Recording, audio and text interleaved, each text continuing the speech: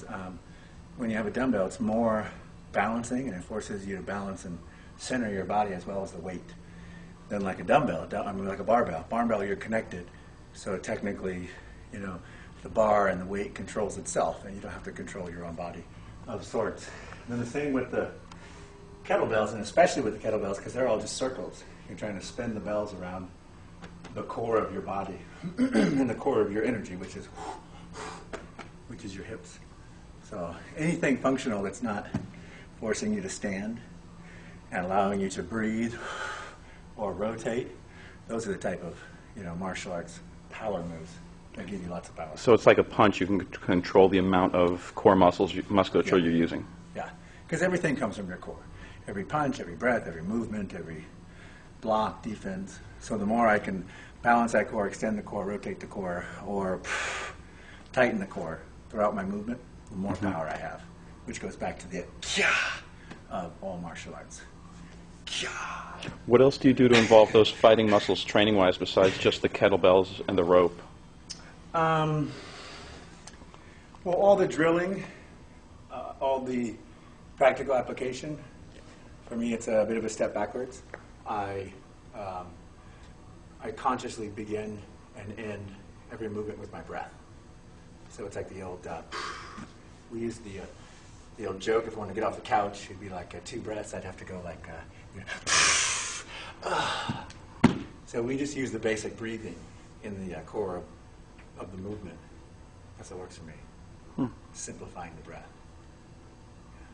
And what's the average routine with the, with the kettlebells and with the rope? You're working up to three minutes? I work up to five.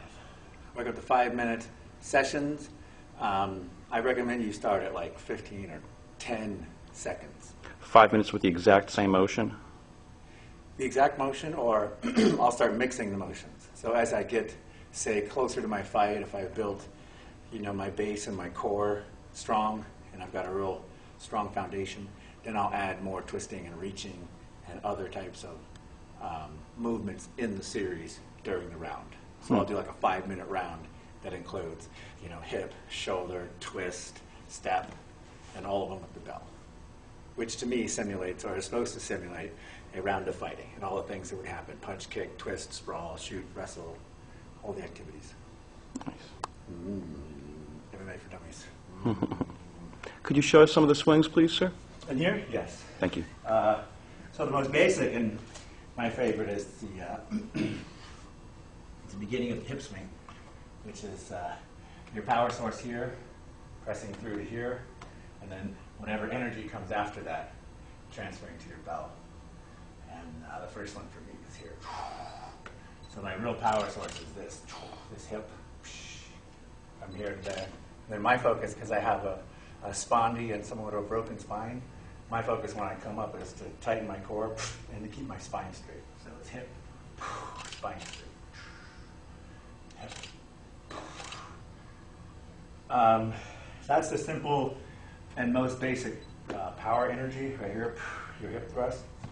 And then the other one, which is very uh, applicable to fighting, and which I recommend for MMA, is um, anything where I'm going through my legs here in an active fighting stance or an active wrestling stance, which is here, sprinter stance, Hmm. feet ready. And it's anything going through here or crossing through here, or even as I'm walking, you know, making figure eights.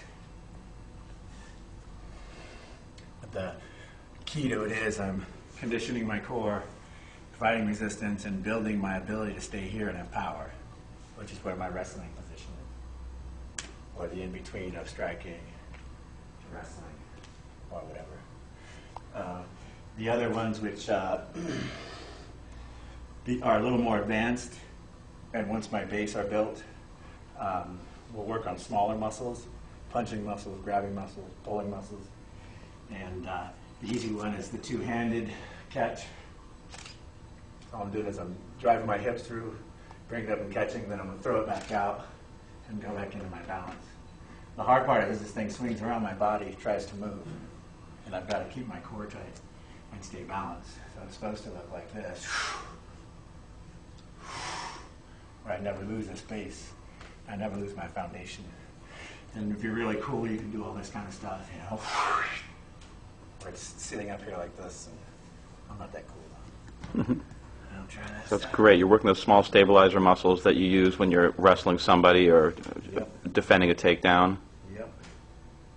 Excellent. Yeah, all the core stuff. This, the beauty of the bell is once you have a base core, then you can really enhance it with the bell because everything from here comes from the core.